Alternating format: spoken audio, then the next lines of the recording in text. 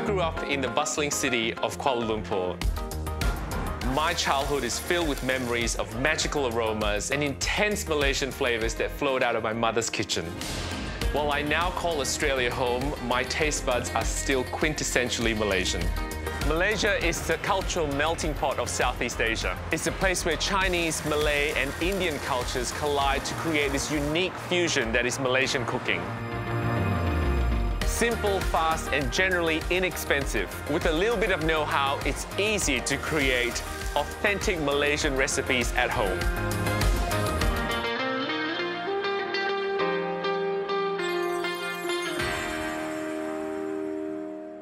Rendang, rendang, call it what you want. To me, it's succulent beef curry, dry curry, intensely Malaysian. Uh, and I'm going to show you a cheats way of making the perfect beef rendang. Now we're going to start with some beef chuck steak. We're going to mix that in with half a can of coconut, just to bring it to boil, with some beef stock, and just for some aromats, we are going to add cinnamon stick and two star anise. Now we're going to put the lid on, but we're going to leave it slightly ajar, uh, just so there's enough steam that sort of comes through and we don't want to overcook the beef. Now in terms of the type of meat that I'm using or the choice cut that I'm using for the beef, the reason why I'm using chuck steak is because it is a cheaper cut of meat and you're cooking for a long time. So you don't need good quality meat because you're breaking down the meat. Um, so think about that when you're actually cooking your curry. If you don't like beef, this recipe works well with chicken as well, um, and that's fantastic. Now we're going to make a little bit of a spice paste. Um, we've got some garlic and Asian shallots in there. We've got some red chili dried, soaked until it's softened, um, and then drained. We've got a lemongrass Lemongrass, very versatile. Um, we use it a lot in our curries, uh, and we only use the white part of the stalk. Um, for the stem, for the green part, don't throw it out. Just bruise it, like so, um, and you can actually flavour your teas. Or it works well um, as a brush as well for when you're marinating, so it gives it that extra sort of flavour. Um, and I'm all for using anything from head to toe, really. Um, so we are putting that in there and we are going to blitz it to make a paste.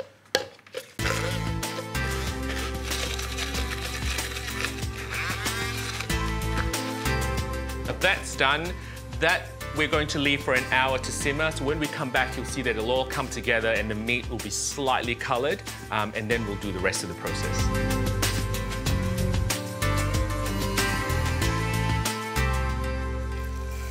This is looking good. So this has been simmering for an hour.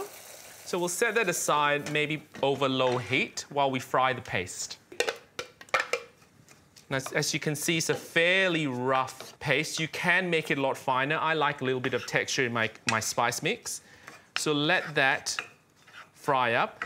Now, this is magic because you don't have to slave away in the kitchen for hours and hours making the perfect rendang mix. Um, I always believe in cheating with stuff of good quality, and believe me, this is one of them. So we need a whole jar.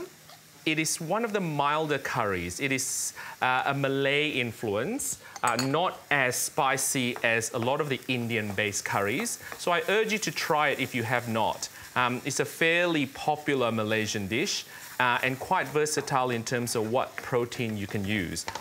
We will add the paste through.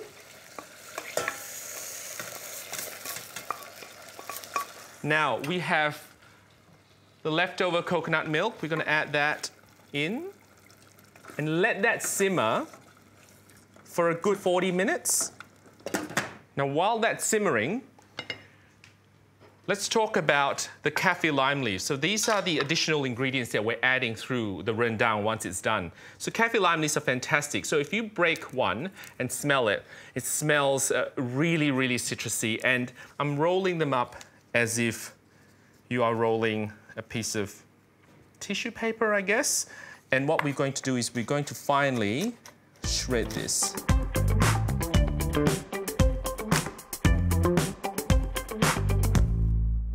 Now that has been simmering for a good 40 minutes. Look how thick it is. Love this. Now, just as a final step, we are going to add in some kaffir lime leaves and just a little bit of desiccated coconut. Mix that through. And that, my friends, is your rendang. Oh my gosh, let's serve this up.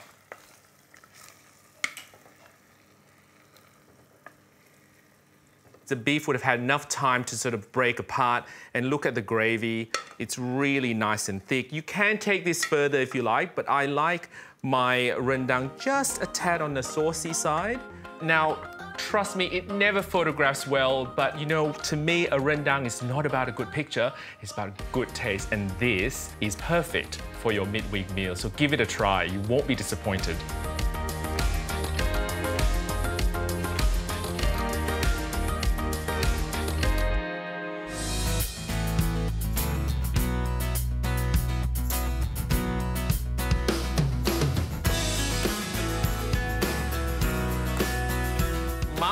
Is this great culture in Malaysia where it's Muslim Indian and they are very famous for making their rotis. And roti is not unfamiliar to a lot of us here, I can imagine.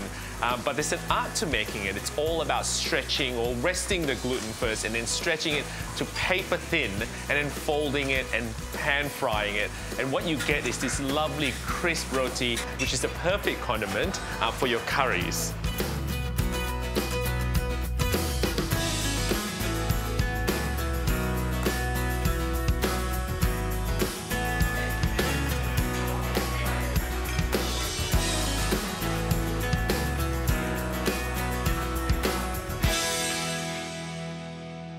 What's better than having friends? Having friends who can cook.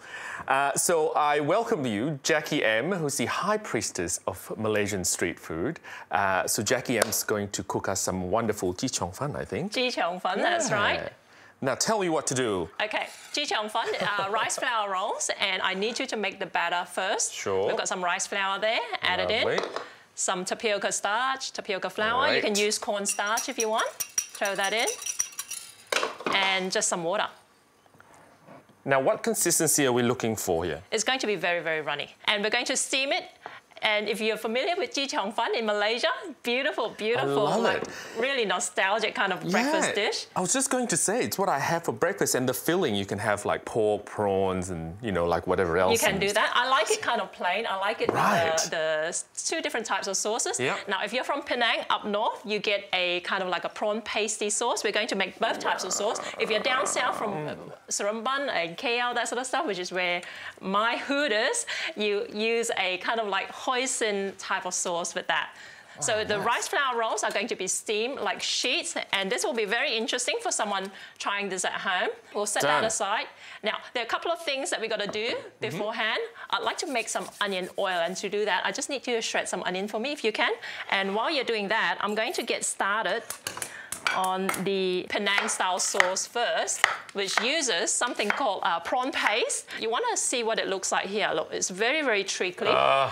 like molasses, but a very pungent sort of molasses. Okay, I'm just going to throw this into a saucepan with a bit of water, and I'm going to add some kicap manis into right. it. Okay, this is just Malaysian sweet soya sauce.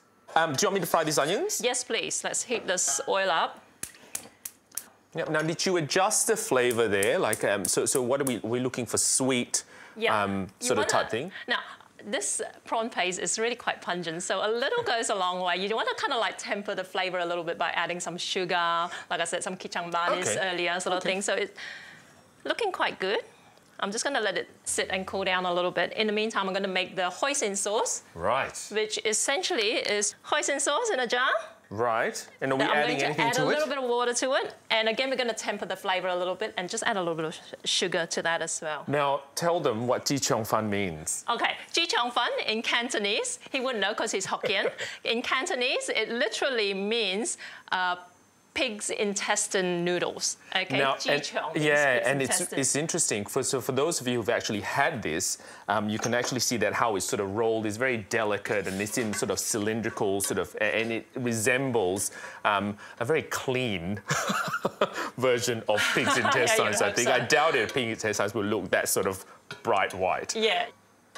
So, is there a reason why we're using um, like onion oil? So, do you use? Can you use? Can you substitute that with garlic oil, maybe? Oh, or yeah, yeah, yeah, for sure. You can use garlic oil, you can use onion oil.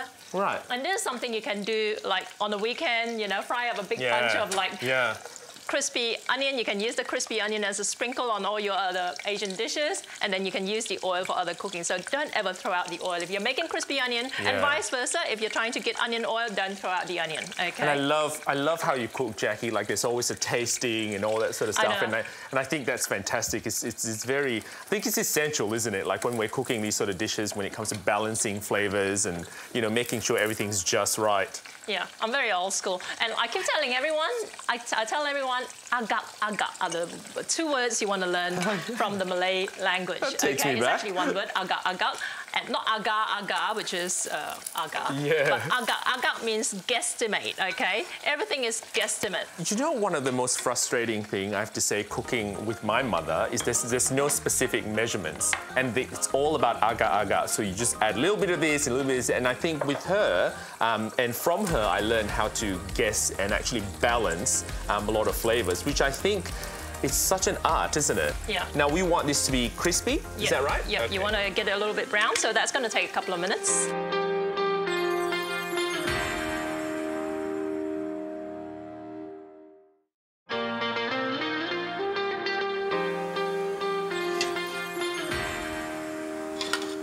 There we go. That looks nice and golden brown. Yep. Now, you want to take the onions out just about a shade or two before they brown completely, because they continue cooking out of the oil for a little bit yet.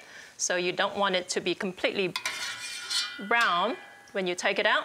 So, So this these are all great. fairly accessible, like to do it at home. Like Oh, they're fairly sure. simple ingredients For that's sure. readily available. Yeah. Yeah. Now, Right. what we want to do, we've got the steamer happening here, just waiting for the water to boil a little bit. And bamboo steamer, you can get them quite cheaply at Asian grocery Love them. stores. Yeah. And this, we're improvising a little bit here. This is just a uh, cake tin base, okay? So any particular size, Jackie, that, or just anything that sits comfortably in the basket? Anything that sits com- comfortably in the basket. Traditionally, we would get like a square tin Yeah. for it, but because it's round and it just fits perfectly, we're just using this. So, you know, that's the great thing about Malaysian cooking. It's just so incredibly I know, flexible. You it can and it's very Experiment forgiving. a little bit. I'm just going to brush a little bit of oil, of oil Sure. on this pan here. Are you happy with this? Yeah, and if it needs to be thinner, we can add more water to it and Brilliant. vice versa. And the fact of the matter is, even if you don't have a steamer and if you're not averse to using a microwave oven, I actually usually cook the rice flour rolls in the microwave. I, I, I condone cheating as long as it's good cheating. Good. Yeah, food. Great minds, great minds. This looks like it's steaming along quite nicely. I'm going to get you to Oh no, okay, pressure. just a very, very thin layer.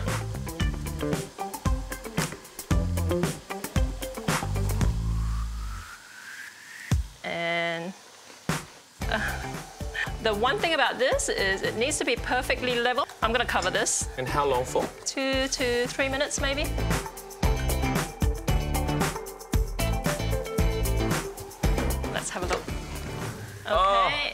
Beautiful, huh? Looks really good. Now I'm just gonna try and gently lift this up and Oh fold gosh, it yeah. over. How about that, huh? So we're gonna make another three or four, and then we're gonna put the sauce over it and present it.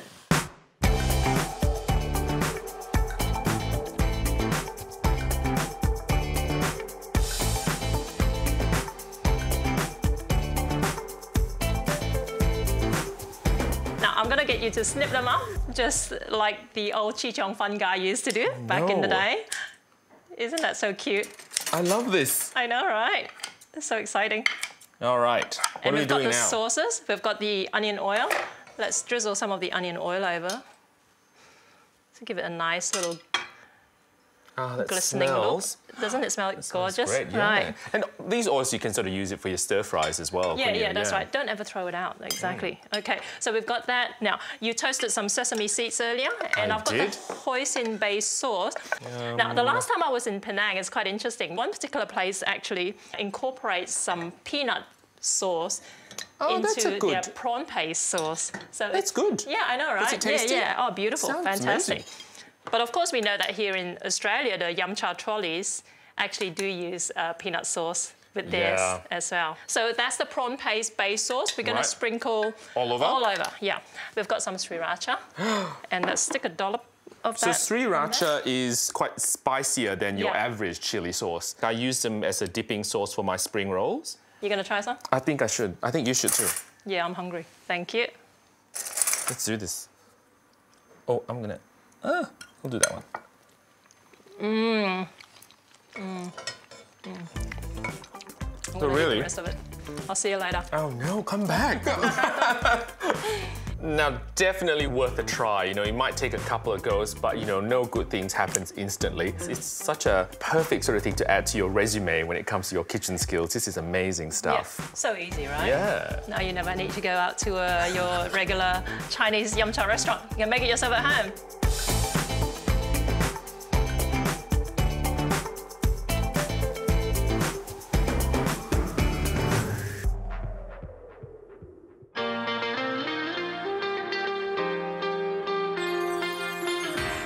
Pudding, it traverses a lot of cultures, and in Malaysia, it's no different.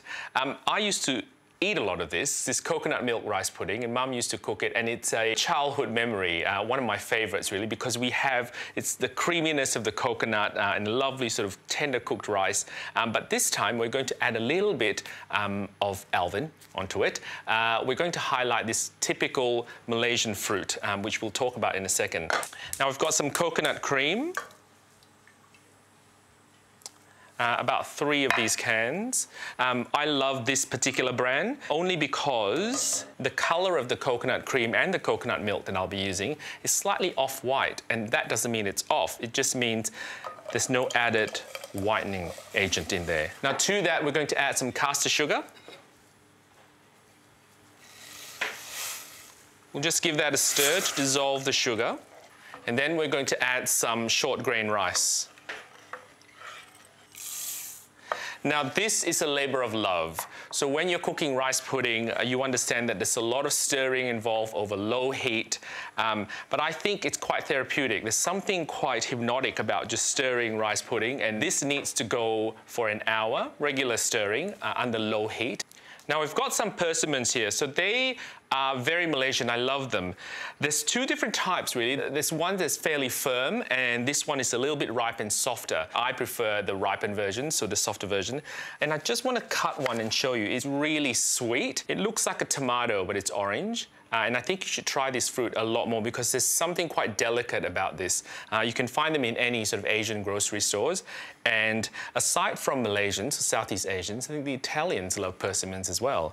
Um, so what we're going to do is we're making a persimmon salsa, uh, which essentially means some chopped up persimmons with a little bit of mint through it. Now, I don't normally peel the skin of the persimmon because I think um, it's really nice. It gives it that little bit of texture and color. Now, traditionally, persimmons are quite popular during the Chinese New Year season. Uh, it's a symbol of a golden nugget. Um, so if you're visiting anyone uh, during the Chinese New Year season, if you want to give them um, a bag of fruit, which is actually quite cultural and, and, and, um, and respectful if you go to someone's house during the Chinese New Year season to give them some fruit, uh, persimmons uh, and mandarins are the choice because they resemble golden nuggets and supposed to give you good luck and good wealth.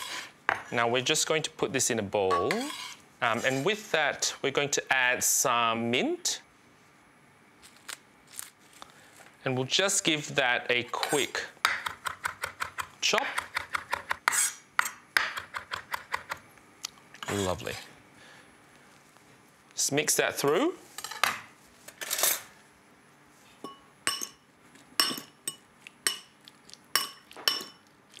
And that's our salsa. Now we're going to stir that for, I think that's got another 45 minutes to go, so don't go away too far. So attend to it every 10 minutes, give it a stir, um, and then you'll be able to tell when it's ready, when the rice is nice and tender, and you get this lovely creamy texture.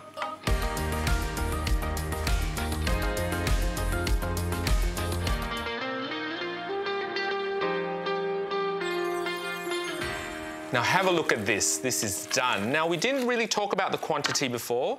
Um, so what we have here as a guide, 200 grams of rice. So there was three cans of coconut cream and one can of coconut milk.